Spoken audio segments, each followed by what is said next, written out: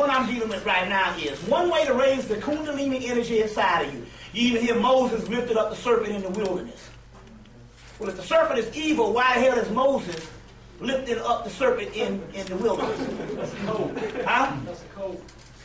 Yeah, but I'm saying it's also if you deal with the, with the kundalini energy, the spiritual energy, the serpentine fire, that's what he's talking about.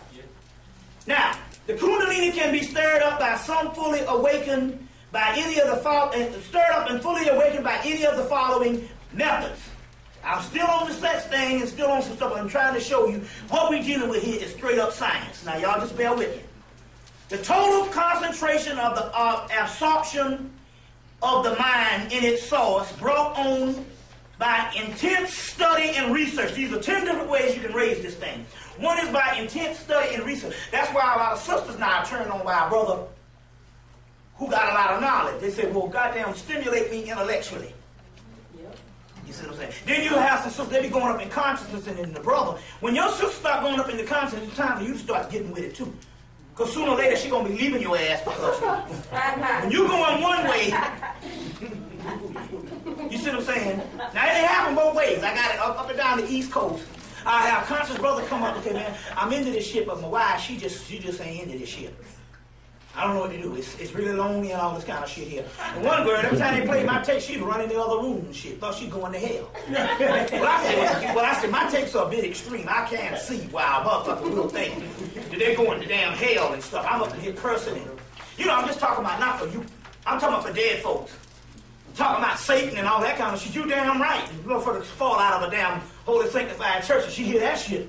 Might lock your ass up. But anyway, so she, my wife run in the room. Every time she hear okay, she run in the room. I say your damn name, she run in the room. say, my family, you Satan. I said, well, I'll take that as a compliment. So, anyway, um, anyway, uh, going back to this, um, uh, that's why, but, but, but if, you, if the woman wants to start getting into consciousness, she, if, if she start getting into consciousness and you dead, sooner or later she gonna leave your ass. Well, not necessarily talking about everybody up in here supposed to be conscious, but the point I'm trying to make here is, um, that's why some sisters say, will stimulate me intellectually. Or, you know what I'm saying, on that particular level. I'm just using the woman as an example. So they say that one way to raise the kundalini is intense study and research by absolute um, uh, introversion and by some state of mental sequence compounded with the concentration of mental energy and magical symbol or sigil. So basically, this is talking about focusing on a higher degree of knowledge. It can be stimulated, or actually, that raises this kundalini energy too. Remember, the kundalini energy is sexual energy. Drugs, the second one is drugs and alcohol. To worship me with strange wine and strange drugs, I will tell my prophet, Be drunk thereof, and thou shalt not harm thee at all. So, in one way, uh, uh, uh, I don't know, that drug shit don't kind of gel with us as black people too good. So, uh, you know what I'm saying and all, you know. And if you ain't an alcoholic by nature stuff, maybe you can dabble in a little bit of spirits and stuff. That's why they call it spirits. You see what I'm saying? So I guess, well, we'll trade off. Well, some marijuana for you people to, you know, to do that and all, that, and you got some, you know, whatever thing, you know, however you want to do that, some mushrooms or whatever. so I'm just giving you the 10 ways. You can pick, there's 10 ways to do this shit. Drugs and alcohol. Worship me the wine and this, uh, wine and strange drugs. Thereof, uh, be my prophet will be drunk thereof, and thou shalt not harm thee. The other thing is shock, a shock, uh, or in intense surprise, grief, ecstasy, etc. A sudden release of the subconscious energy affects the kundalini. So shock can do the shit. You see? Ask Carrie about that shit. Movie Carrie, when they throw that hog blood on her. Hmm? What's that? Um, are those, um, I know some Caucasian write, write books on sex tangent. Are those things that raise their kundalini? No, no, this is this is this is stuff. Period. See, Just period? yeah, this this is stuff here. It's all there's all types of different things and all. Um, um, most of this stuff here is actually coming from the uh, Hindu text, the Hindu text, because they used to do all of that in ancient world. You see what I'm saying? The drug thing, but like I said, sugar was a drug to the ancient Egyptians. They used to take sugar and get you another level. Alcohol certainly was one. Because we invented alcohol. You understand what I'm saying? It was it was it was it was certain certainly one. Um, no, most of these are basically um, coming from basically the, the Hindu tantric thing by way of pre-dynastic Kemet. You know, ecstasy by ecstasy induced by music, mainly jazz, and rhythmic drumming and mantra. You see what I'm saying? So music can do it. You see, okay? Speed, which has a tendency to loosen the astral body, thus make it possible uh, and, and will influx of cosmic energy and whirling dance and derivations of frenzy, uh, uh, uh, frenzy brought on by voodoo practitioners induced in similar condition in, uh, in repeatedly cosmic influences that act directly upon the fire snake. So, in so many words, speed, rhythmic dances, uh, um, are getting into a real rhythmic uh, uh, form of um, um, a rhythmic form of, of dancing or rhythm. And you see the voodoo, uh, the, the people in Haiti and all that type of stuff going into trance and all of that type of stuff. Or you see a motherfucker down in Alabama getting that goddamn Holy Ghost. And that damn, whoop, that shit there, you know that shit. that stuff is all a part of that now. Remember, everything that's going on is nothing but us taking a record of what our bodies used to do and recording that record, and that's the stuff that you got now that you look at as gospel. It's just our experiences. You see what I'm saying? Magically controlled sexual activity, in which the Kundalini uh, is a uh, uh, object. Oh, oh, I'm sad. I got to slow down. That's an inanimate object. God damn. this is a dangerous method that demands a high grade of initiation for the practitioner. That's for white people. Now that is for white people. You know, you see what I'm saying? Uh, because, uh, and uh, to answer your question, um, a lot of these things here, as far as some things, is that they have to be very careful because the Kundalini energy inside of them is very, um, it's very dangerous because the simple fact that the the ultimate filtering point is the pineal gland because they have a calcified pineal gland.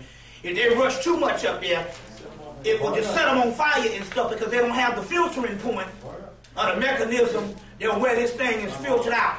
But believe me, I done raised every kind of kundalini energy there is. And um, it don't hurt us at all for the simple fact it is a natural phenomenon in us. Whereas with them, it's not a natural phenomenon because their bodies are irregular. And they don't have the capacity, so they'll burn up, you see um, they, they, will burn up. So uh, sexual activity.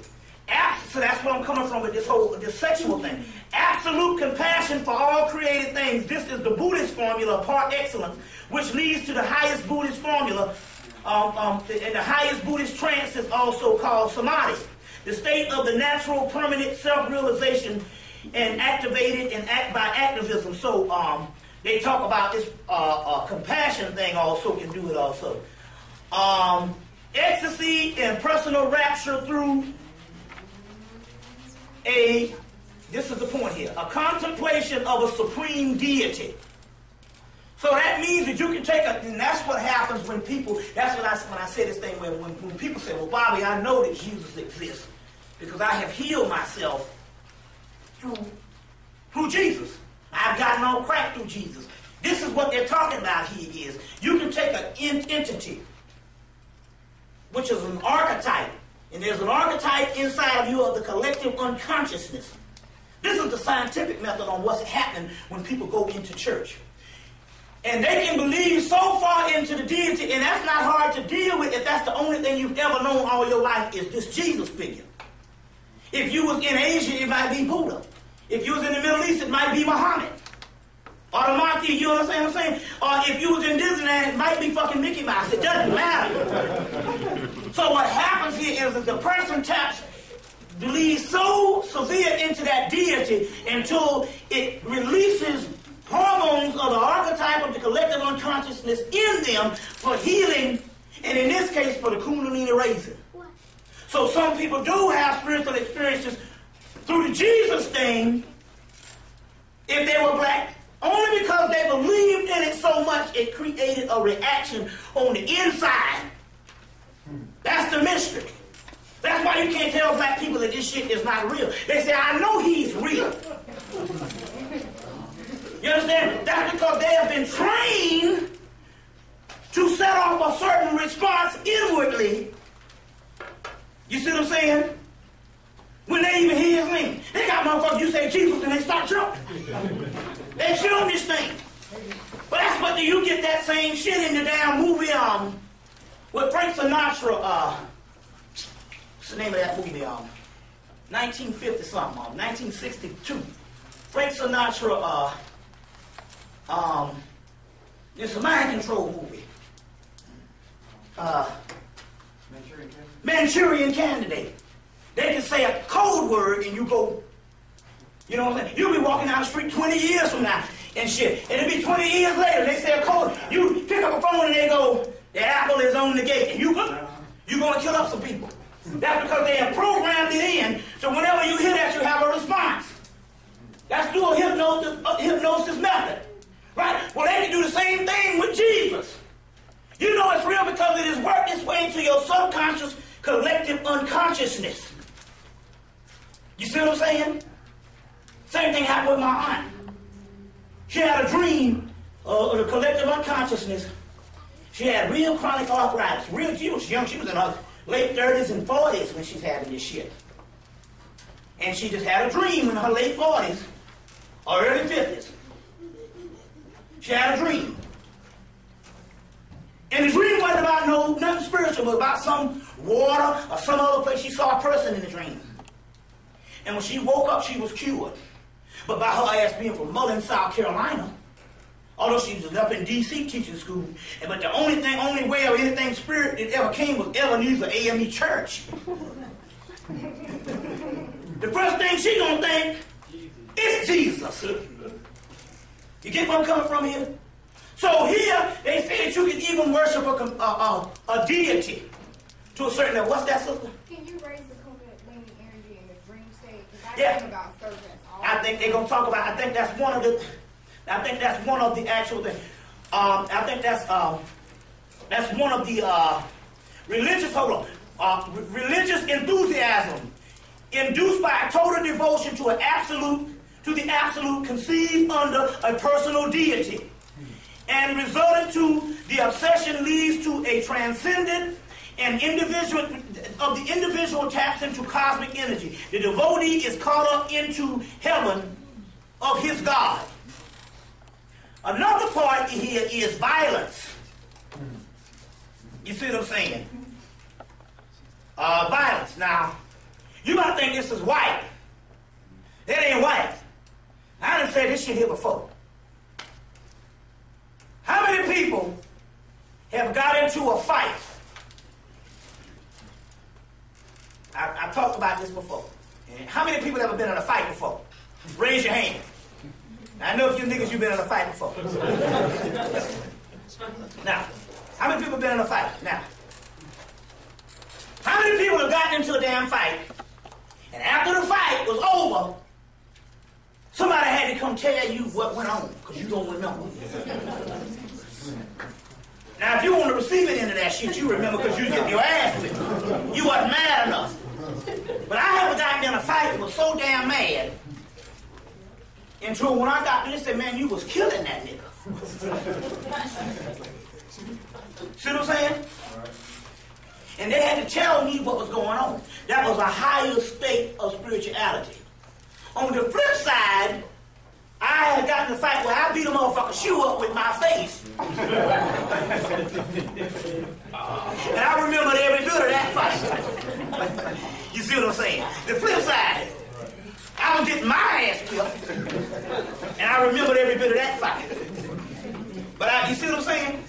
I remembered every bit of that fight. You see?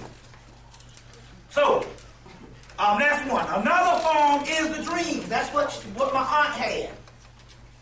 She had a part of the dreams. And as a result, she raised the Kundalini energy inside of her and she healed herself. They say it's called healing in the wings.